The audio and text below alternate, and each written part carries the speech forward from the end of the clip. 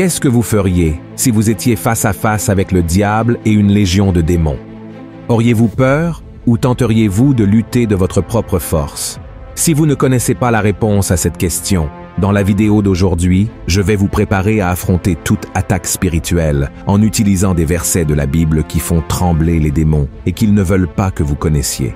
Aucun démon ne peut rester debout après que vous avez déclaré ces versets de votre bouche. Si vous voulez savoir quels sont ces versets, je vous invite à regarder cette vidéo jusqu'à la fin.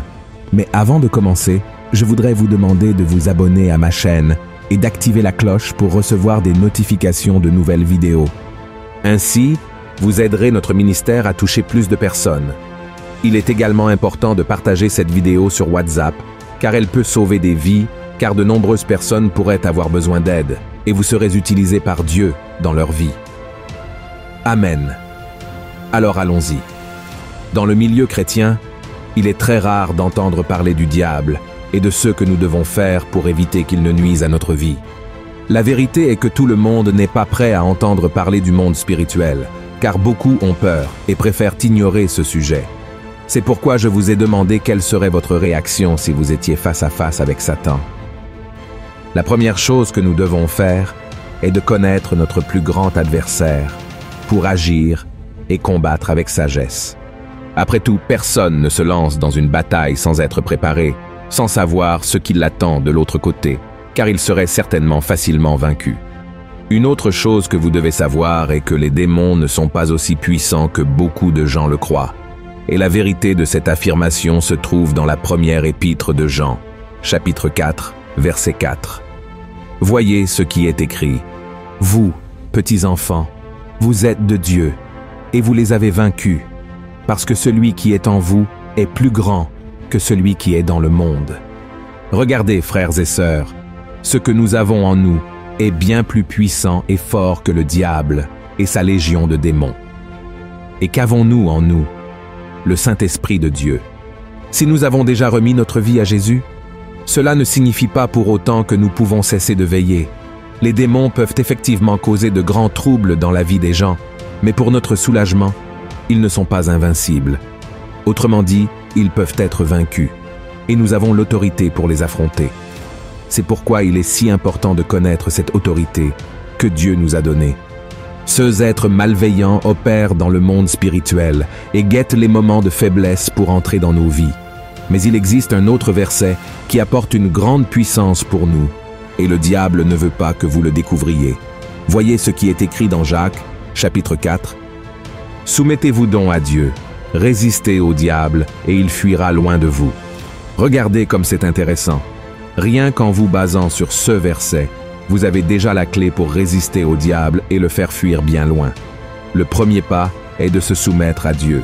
Cela signifie que nous devons mettre de côté notre force, notre intelligence, et ne faire que la volonté du Seigneur. C'est une étape très importante pour se protéger des pièges du diable. Et peut-être vous demandez-vous, mais pasteur, comment puis-je résister au diable? La première chose à faire est de chercher à obéir à Dieu.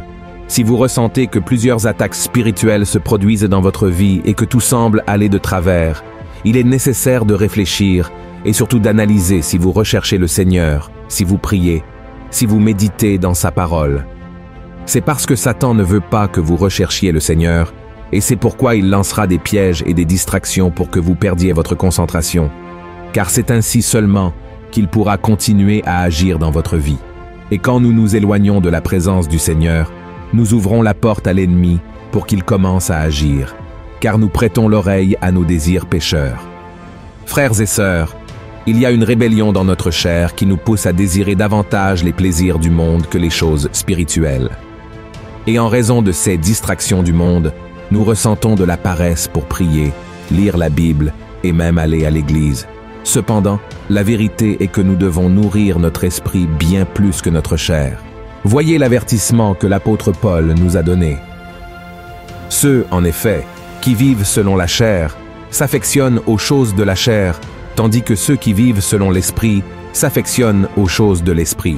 Et l'affection de la chair, c'est la mort, tandis que l'affection de l'esprit, c'est la vie et la paix. Regardez comme il est important de ne pas prêter attention aux désirs de notre chair, car en le faisant, nous laisserons place à l'ennemi. Nous ne pouvons pas obéir à Dieu seulement dans certaines parties de nos vies. Dieu désire notre obéissance totale, c'est-à-dire que nous devons constamment chercher Dieu, montrant ainsi au diable que nous sommes dépendants du Seigneur. Nous devons comprendre que notre existence n'est pas le résultat de nos propres efforts, mais plutôt de la permission de Dieu. Vous avez dormi hier soir et vous vous êtes réveillé ce matin non par votre volonté, mais parce que Dieu l'a permis. Et beaucoup de personnes se sont endormies hier soir et ne se sont pas réveillées aujourd'hui. Pourquoi? Parce que nous n'avons pas le contrôle sur ce qui se passera, et, pour cette raison, nous devons dépendre du Seigneur. Ainsi, frères, l'autorité que Dieu nous accorde sur le mal vient seulement d'une vie de communion avec lui. C'est précisément ce que l'ennemi veut que nous perdions. La Bible raconte que le diable a trompé Ève pour qu'elle goûte du fruit interdit, car il voulait qu'elle s'éloigne de la communion avec Dieu et perde ainsi toute autorité. De la même manière, il ne veut pas que vous connaissiez le pouvoir qui réside en vous. Il y a beaucoup de personnes qui sont déjà avec Dieu, mais l'ennemi obscurcit leur compréhension. Et il y a d'autres qui n'ont pas une vie de communion avec Dieu et sont donc facilement manipulés, subissant de grandes conséquences à cause de cela. Il y a une histoire très intéressante dans la Bible qui prouve que le diable et ses démons ne veulent pas que vous ayez connaissance du pouvoir de l'obéissance à Dieu. Dans le livre des Actes, nous voyons que l'apôtre Paul accomplissait de grands miracles et un certain groupe de personnes voulait faire la même chose. Cependant, Paul était soumis à l'obéissance à Dieu et il avait le pouvoir et l'autorité pour chasser les démons. Mais ce groupe de personnes a ignoré le fait que l'obéissance à Dieu est la clé pour résister au mal. Voyez alors ce qui est arrivé à ceux qui faisaient cela. Ceux qui faisaient cela étaient sept fils de Séva, juifs, l'un des principaux sacrificateurs. L'esprit malin leur répondit, Je connais Jésus et je sais qui est Paul. Mais vous, qui êtes-vous?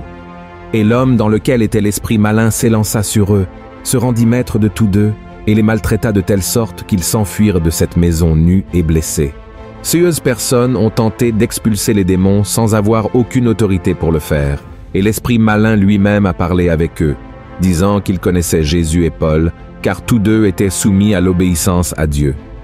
Parce qu'ils n'avaient pas cette même obéissance, ce groupe a connu de grands problèmes lorsqu'il a été confronté au mal. Ils ont souffert, ont eu leurs vêtements arrachés et sont partis de là nus et blessés.